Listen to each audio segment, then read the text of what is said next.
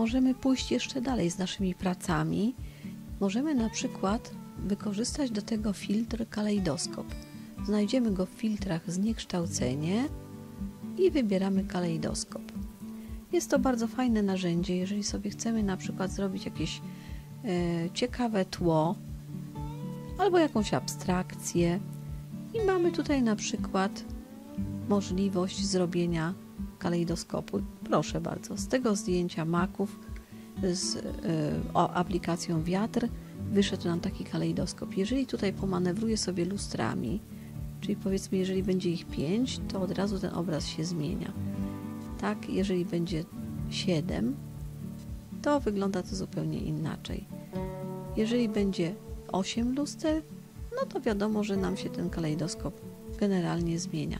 Możemy sobie tutaj dodawać dowolną ilość i w tym momencie zobaczmy, co się dzieje. Z każdego praktycznie obrazka możemy zrobić coś naprawdę ciekawego i do różnych rzeczy wykorzystać. To na przykład spokojnie można byłoby wykorzystać. O, powiedzmy, że taki y, mi odpowiada, więc dam OK. I jeżeli ja sobie to wyeksportuję, to potem mogę wykorzystać y, ten kalejdoskop jako taką ramkę do obrazu. I będę mogła to za chwilę pokazać. Pokażę Wam teraz, jak wykorzystać e, ten kalejdoskop, który e, stworzyliśmy, e, jako ramkę do obrazu. Przeciągam go z plików zapisanych, tak. Teraz wprowadzam dodaj kanał alfa na 25%, żeby miała lepszą widoczność na ekranie. I następnie pobieram zdjęcie, które będę chciała umieścić. O, na przykład takie. Też robię analogicznie to samo. Dodaj kanał alfa. Mam dwa zdjęcia. Będę chciała postać wprowadzić do tego kalejdoskopu w tę centralną część. Jak to mamy zrobić? Zaraz to wszystko wyjaśnię. Przechodzimy na warstwę kalejdoskop i duplikujemy sobie tę warstwę. Teraz wybieram z narzędzi narzędzie eliptyczne zaznaczania. I muszę tak dopasować to narzędzie, żeby po prostu ten środek można było wyciąć. Także tutaj, żeby była większa precyzja, to można to zrobić przez kontrol. Dopasowujemy, tak. No myślę, że tak będzie dobrze. I teraz, jak mamy już to w porządku, to będziemy mogli to wyciąć, czyli jeszcze sprawdzamy, czy na pewno mamy dodany kanał alfa, tak. I teraz na tym zaznaczonym obszarze robimy tak, zaznaczanie, odwróć, bo chodzi nam o to, żeby nam została ta część. Teraz jak mamy obszar zaznaczony poza tym naszym okręgiem, czyli ten, cały, bo chodzi nam o to, żeby uzyskać ten środek przeźroczysty, żeby można tu było włożyć zdjęcie. Przechodzimy na zaznaczanie oderwij.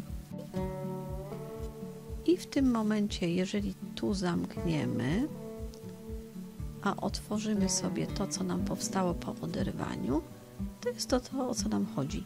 Mamy ramkę.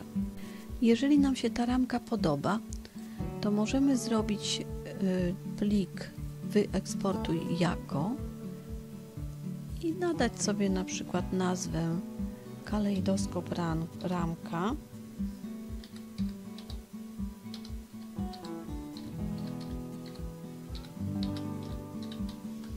Tylko że już nie rozszerzenie jako JPG, tylko jako PNG dlatego, że zależy nam na tym, żeby zachować w środku przeźroczystość bo możemy tę ramkę wykorzystać nie tylko do jednego projektu, ale będziemy mogli używać ją do wielu różnych projektów, więc warto na pewno tę ramkę zachować.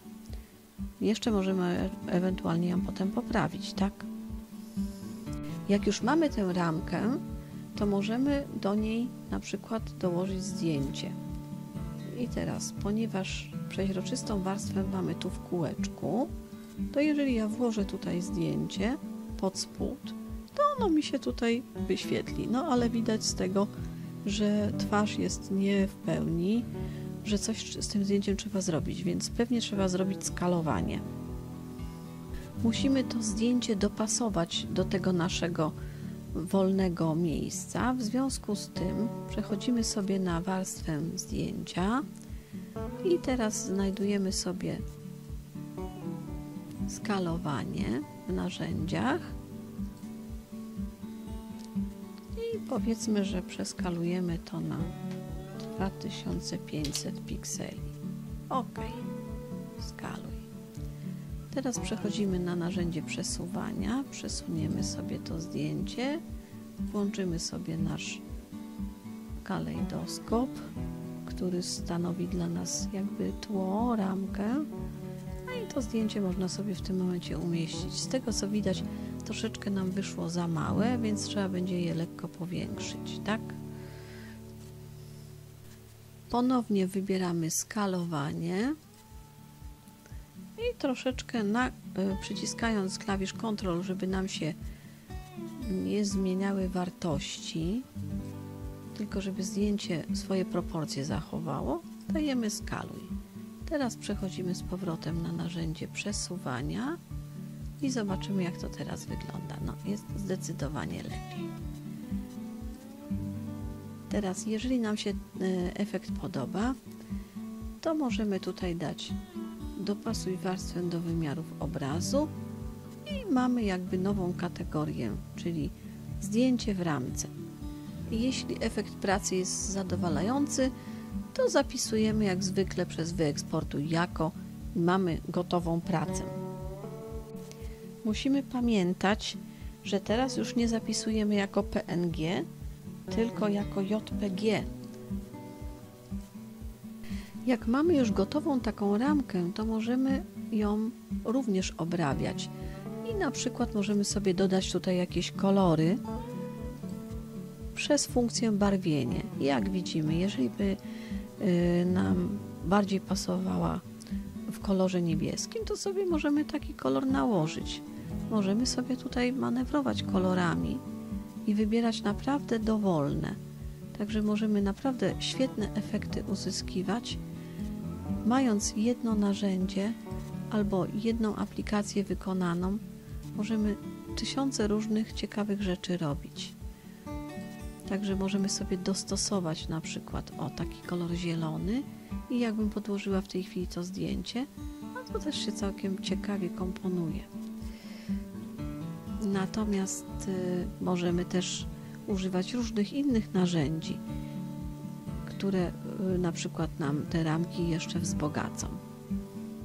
Możemy tę ramkę też troszeczkę zmienić, jeżeli wejdziemy na przykład w funkcję kolorów w cień i podświetlenie.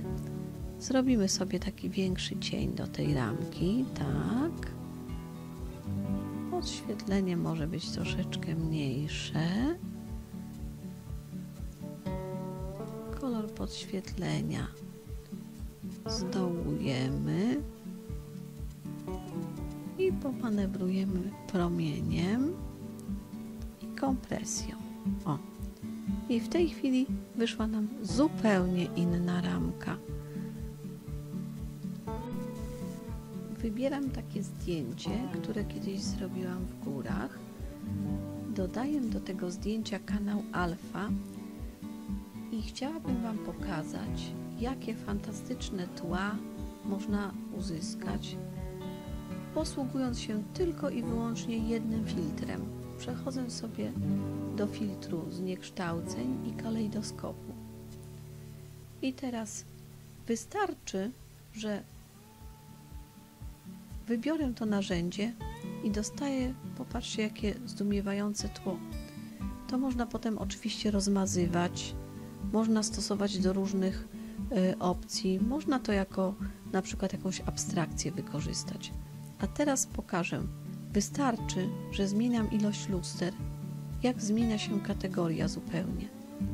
Jak to inaczej wygląda. Teraz, jeżeli zrobię sobie na przykład przesunięcie osi, to zupełnie to się zmienia. Można naprawdę bardzo fajne efekty uzyskiwać. Hmm. Tak jak widać.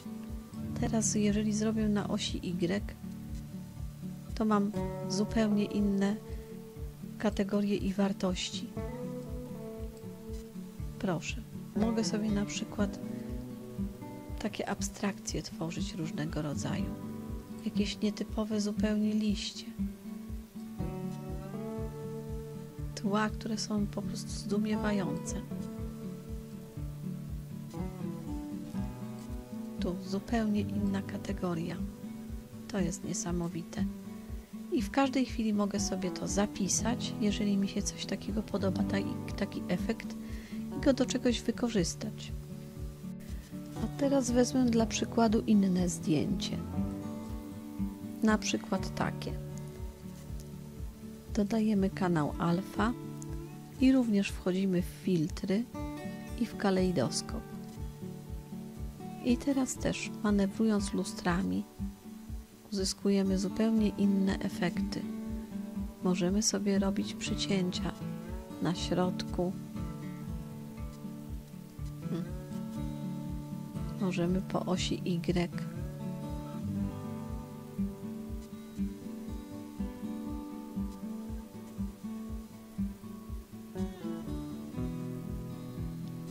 Daje to zdumiewające, niesamowite efekty.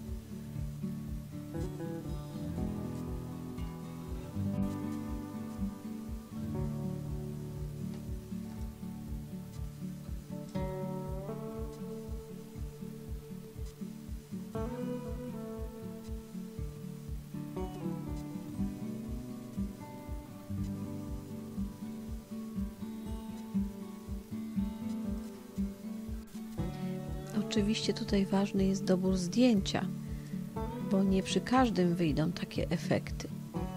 Tutaj widać, że te kontrasty są bardzo ważne. No na przykład z tego można będzie stworzyć super ramki.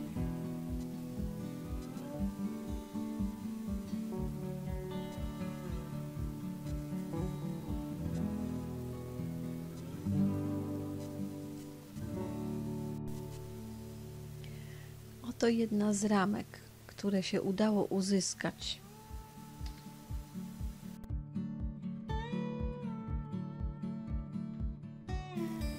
A oto nieliczne efekty pracy, które udało się uzyskać poprzez zastosowanie filtru zniekształceń kalejdoskop.